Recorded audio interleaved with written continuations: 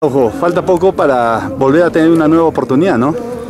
Sí, contentos y estábamos, la verdad, bastante ansiosos para que venga este momento de, de volver a estar con nuestra gente y, y, demostrar que somos un gran equipo y las fechas pasadas ya quedaron atrás.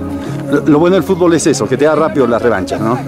Sí, este, nos hemos preparado muy bien ahora con el nuevo comando. Estamos este, cogiendo la idea que, que el profe quiere, así que este domingo, Dios mediante, vamos a tener una alegría para el pueblo de, Puno.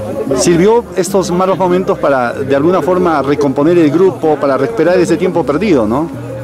Sí, yo pienso que, que los grupos tienen que estar fuertes, ¿no? Desde, desde un inicio y hemos demostrado que, que, somos un gran equipo, un gran grupo y con excelentes jugadores y como te dije, estamos preparándonos para comenzar a darle muchas alegrías a la, a la, a la afición puneña.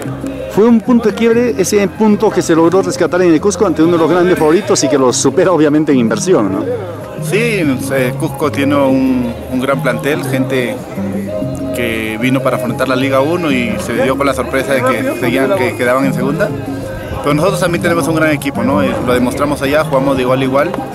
Este, como te dije, estamos ahora entrenando, vamos a, a dar todo de nosotros para, para, este domingo poder darles una alegría.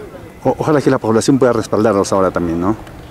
Sí, yo creo que sí, yo pienso que, que como te dije, los tres partidos anteriores ya, está, ya quedaron atrás, uh -huh, vamos a, a, dar este, lo mejor de nosotros para este domingo poder este, tener un resultado positivo y, y, que la gente salga contenta del estadio. Es, es, un torneo largo, e, eso es positivo también, Araujo.